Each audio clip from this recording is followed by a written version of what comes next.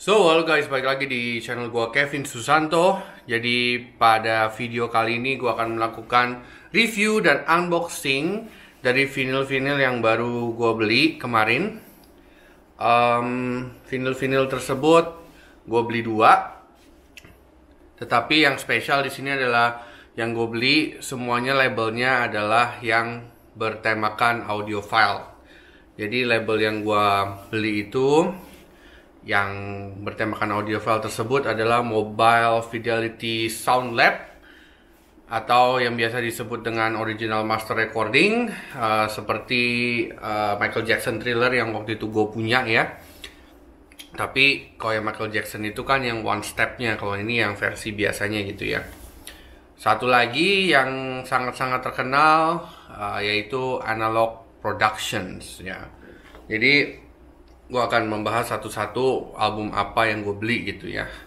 Kita langsung saja.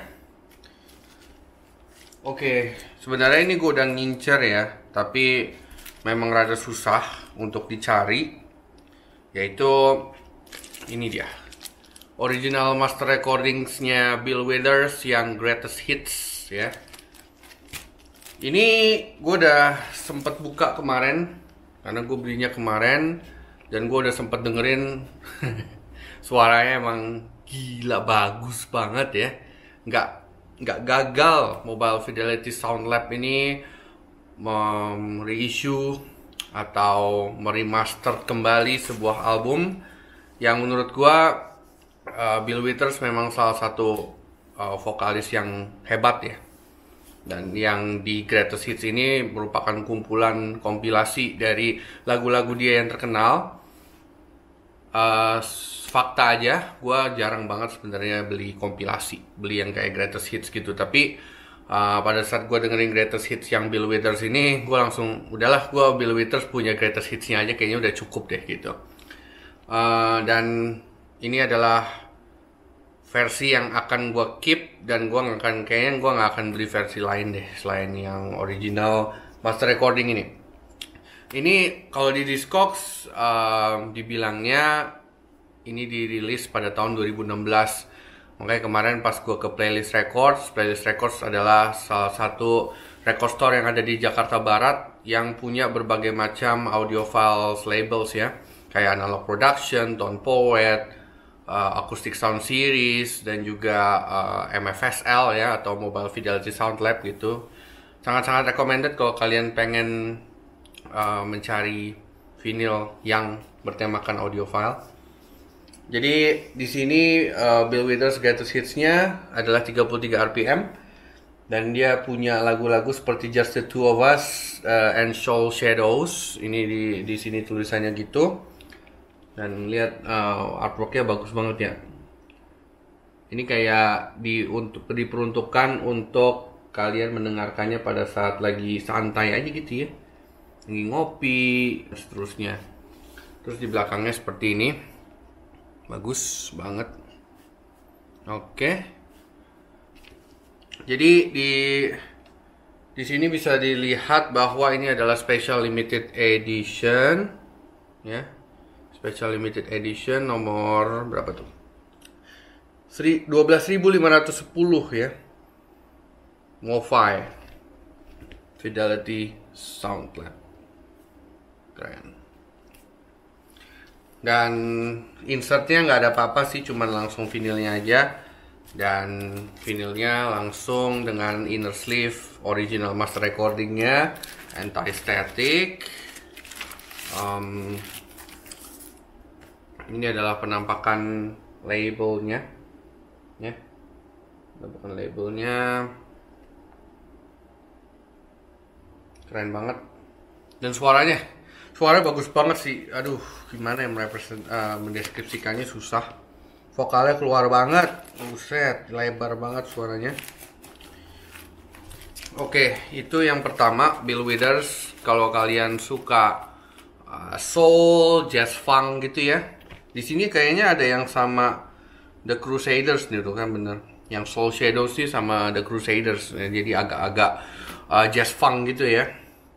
Terus di album ini juga ada track-track terkenalnya dia seperti Ain't No Sunshine, Lovely Days, uh, I Want to Spend the Night, ada Use Me, terus ada di side 2 ada Soul Shadows, Lean On Me, uh, Grandma's Hand, Hello Like Before, sama Who Is He What He Is to You. Oke, okay.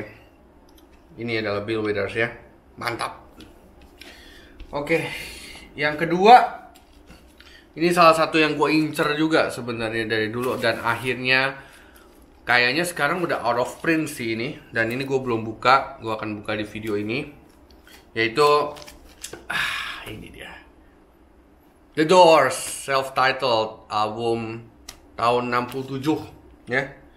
Album tahun 67 dirilis kembali oleh Analog Production dengan kecepatan 45 RPM jadi dibagi dua ya dua dua LP dan para kritikus juga mengatakan uh, di YouTube YouTube vinyl yang audio file gitu bahwa salah satu sound terbaik dari The Doors itu adalah rilisannya Analog Production karena 6 album The Doors yang uh, eranya Jim Morrison itu dirilis kembali oleh Anar Production 45 RPM kalian lihat. Oke akhirnya dapat sih. Dan ini versi stereo ya ini versi stereo. Karena sebenarnya kan um, dia punya rilisan kan mono ya. Kalau yang dulu tapi kan ada remix stereonya juga Oke, jadi kita buka aja ya. Gue senengnya kalau ngebuka vinyl-vinyl kayak analog production gini tuh semuanya dipikirin.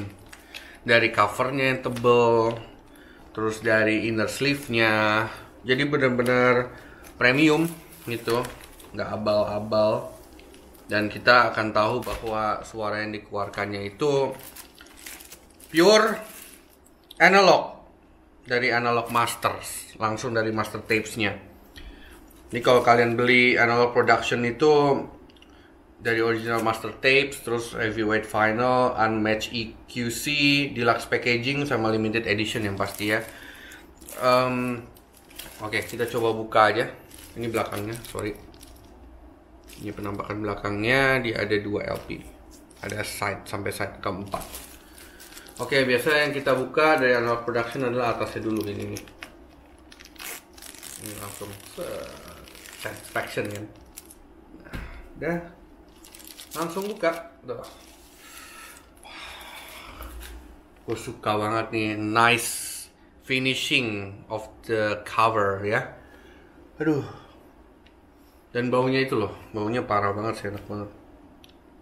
Ini belakangnya. Ini kalau kalian apa pegang sangat-sangat tebel ya kartonnya. Dan ini salah satu satisfaction juga kalau buka gatefoldnya ada suaranya itu. Wah suara cracknya gitu. Bagus banget ya. Oke. Okay. wow finally gue punya album The Doors di Analog Production Oke, jadi di sini dibagi menjadi empat side, yaitu di side satu ada Break On Through to the Other Side, terus ada Soul Kitchen, The Crystal Ship, 20th Century Fox. Terus di side 2 ada Alabama Song, Whiskey Bar, sama Light My Fire. Lalu di side ketiga ada Backdoor Man, enak banget itu. I Look at You, End of the Night, sama Take It As It Comes. Di slide keempat ada DN ya.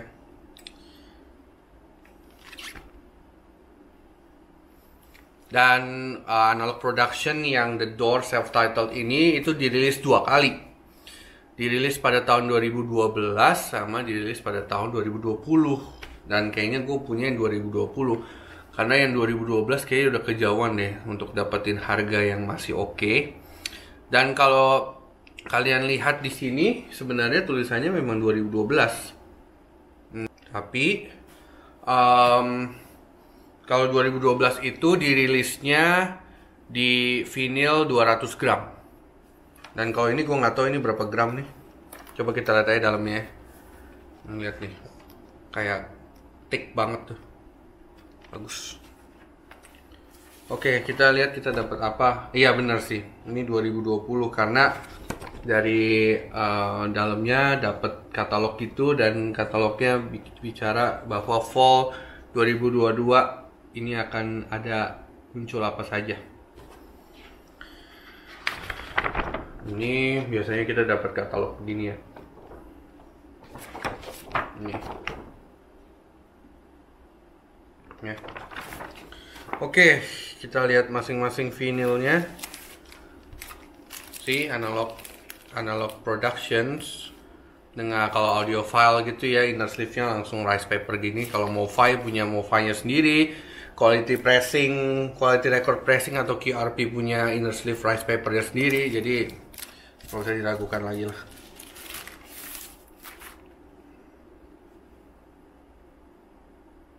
Ini kayaknya 180 gram sih. Kayaknya 2020 sih ini tulisannya di sini ada tulisannya di sini semua tulisannya 2012 ini side uh, eh, LP yang pertama. LP yang kedua juga sama. Ini dia. Dan gue bersyukur banget sih bisa dapat ini. Ini. Gokil. 45 rpm coy Hmm, kita coba dengarkan ya nanti. Oke, di sini ada stampernya QRP. Oke. Tip. Ini dia. Nanti kita coba dengarkan. Oke, jadi reviewnya itu aja sih gue beli dua vinyl itu dan gue akan dengerin habis ini yang The Doors karena gue bener-bener gak sabar sih pengen dengerin suaranya seperti apa ya yang katanya bagus banget kita coba Oke.